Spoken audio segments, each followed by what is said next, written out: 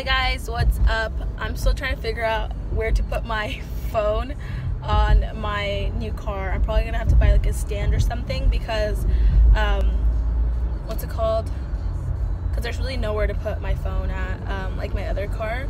So I just wanted to come on here and talk to you guys.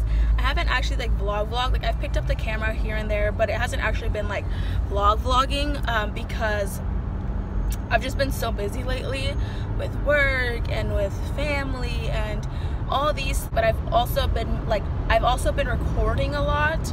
So I've I had really good content for you guys um, for like the past few weeks just because I've been pre-recording and um, that is something good that came out of that. And um, I had a little bit more time to just like focus on what I needed to focus on. Check in because I cut my hair.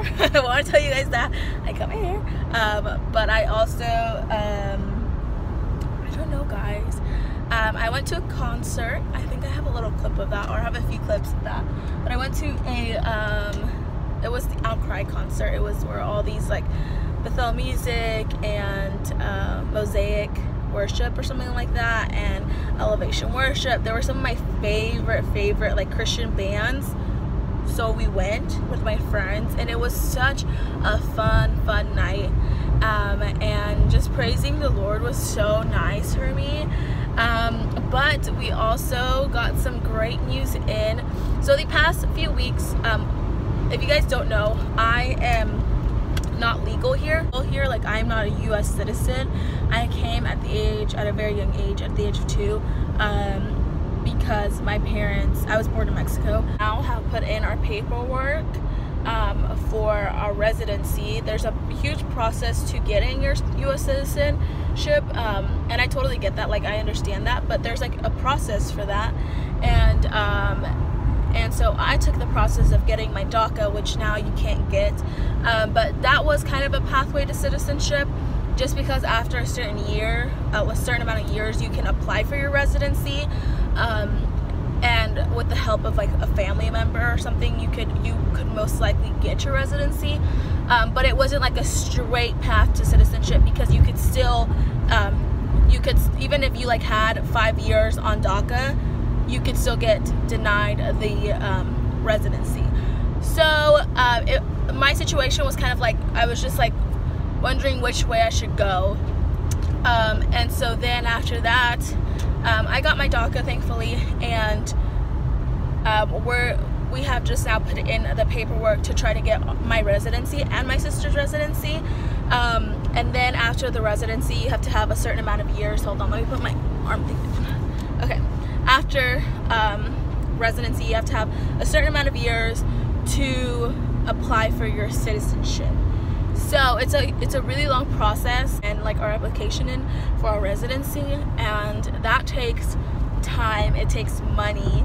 So I've just been like working, mom has been working, we've just been working our booties off because it takes money and if you don't have the money, you can't you practically can't get anywhere with your paperwork because um you need to have the money for it. So we put in our paperwork I think like two weeks ago.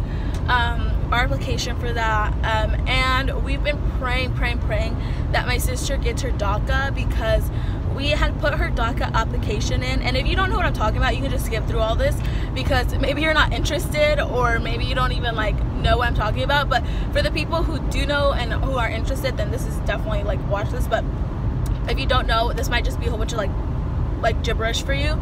So we had put my sister's application for DACA in last year, um, and it was right before um, Trump had stopped the DACA. So um, it was like right before then, and then he stopped it. And I remember we were like so freaked out because we're like, oh my gosh, like, he, like, like we had just barely put in. We're like, we hope she gets her DACA, and so we had been praying that she gets it, and we got no response, no response like for months and months after we put we put it in. So we literally were we were just saying she's not gonna get it. Like they just closed it and that she's not gonna get it. We just thought she wasn't gonna get it. And um, recently, like two weeks ago, they responded and they sent us a letter and they said that um, they were just missing like a few because whenever you send in your information like an application you have to prove to them that you've been here for every single year that you're um, that they require you to show them so in order for you to like get your DACA you have to show them that you've gone to school you've worked you've um, that you you've been in the US for those years that they are asking you to show them. So they were missing like two years I think or something like that.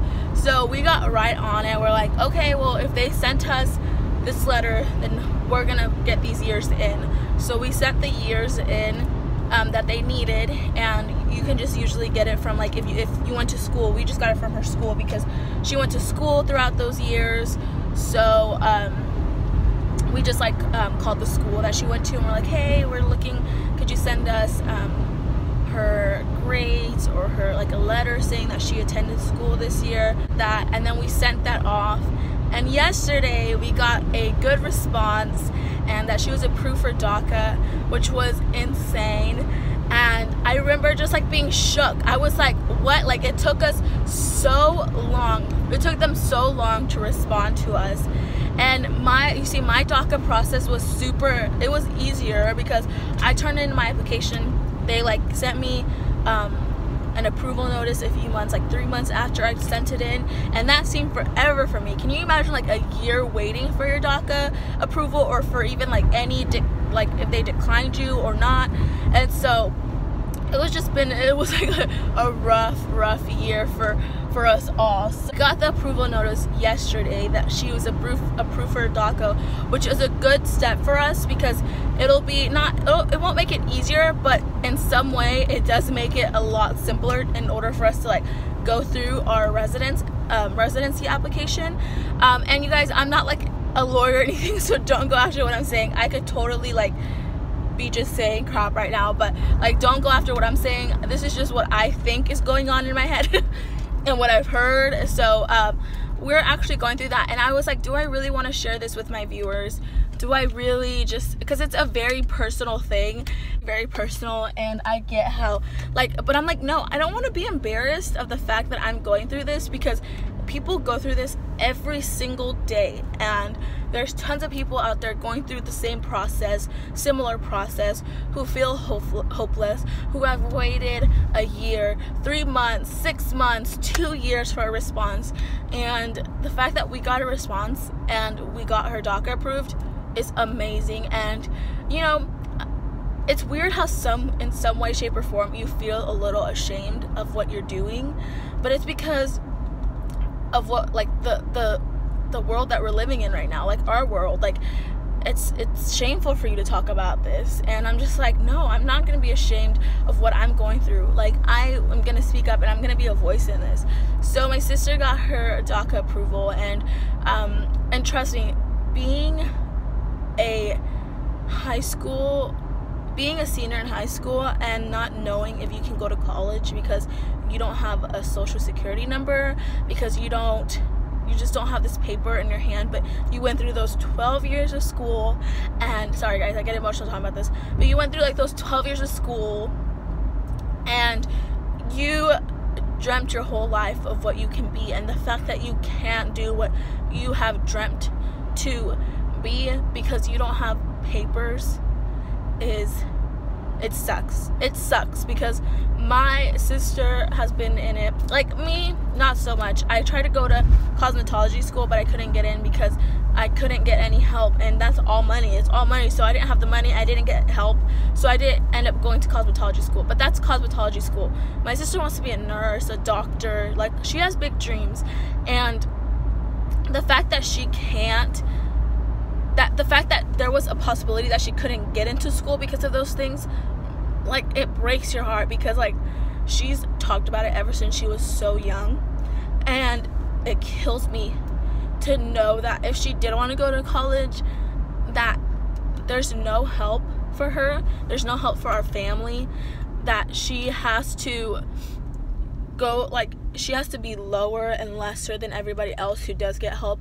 You know, many of her friends are getting approved. Many of her friends are going through this process like going through this college process that she doesn't get to go through and it kills me. It kills me knowing that because like I love my sister so much and I feel like she's she's fought so hard to be where she's at and we're gonna continue fighting and I swear we're gonna get her to through school.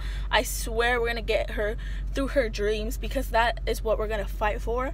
So I'm just so thankful that we're fighting for this like i'm thankful that we didn't just like sit and like oh no that's impossible like no we're gonna fight to make her dreams come true and that is like something that's burning so hard inside of me. I'm like, no, like I'm gonna keep fighting. That's just my little update. I'm so incredibly thankful that we even got a response. Like, I think being thankful and grateful for the little things in life is so important because I could say, oh, we got a DACA response, but we still need to get our residency. We still need to get our citizenship. Oh my gosh, all these years. But no, no, no, no, no. We got her DACA. She can work. She can get her permit to drive a car. She can get a driver's license. Like, it's not, it's not a boohoo situation. Like, I'm so incredibly proud of how far we've come, of the response that we've gotten. I am so happy that I can wait. And if we do get this residency stuff figured out, like, I, I would be happy to wait five years to get my citizenship. I would just like it's the little things that I'm celebrating, and so I chose to share this with you guys. Um, I don't know, my sister's comfortable talking for me talking about it on my channel. I'll talk, I'll text her and be like, "Hey, are you cool with me talking about this on my channel?" But I think it's so incredibly important for people to have a voice and for people to share their stories. And I'm just really raw. This is what I'm going through right now. Raw, raw. What our family's going through. It's expensive. It's scary. You don't know what the outcome is. They're telling us that we have to go to Mexico for a little bit. It's just like it's scary and I have just chosen to share it with you guys, and I'll probably just make this its own little video. Just, I thought I was gonna put this in a vlog, but my vlog's gonna be way too long if I put this in a vlog. So it's gonna be my own. Um, I think I'm just gonna make it. Um, I think I'm gonna make it its own little video. So that's it. Um, we've gone through ups and lows, but mainly I'm just thankful that we're getting somewhere because for a little bit I'm just like are we even are we even getting anywhere? Like are we even doing anything? Like for a little bit you know like you just think those things like you it's so dry the season is so dry like you don't hear a voice like you don't see the light at the end of the tunnel. But after like a year of waiting she finally finally got it.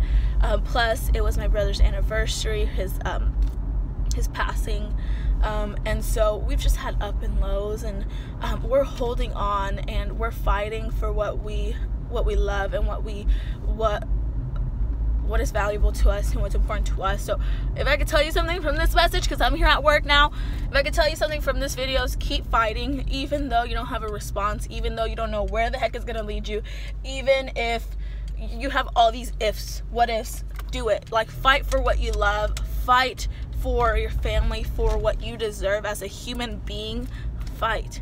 And um, you deserve it. You deserve it. And so that's it. I'm going to close off because I'm here at work. I love you guys. Thank you guys so much for watching this video. Um, and yeah, thank you guys. I love you guys. Bye.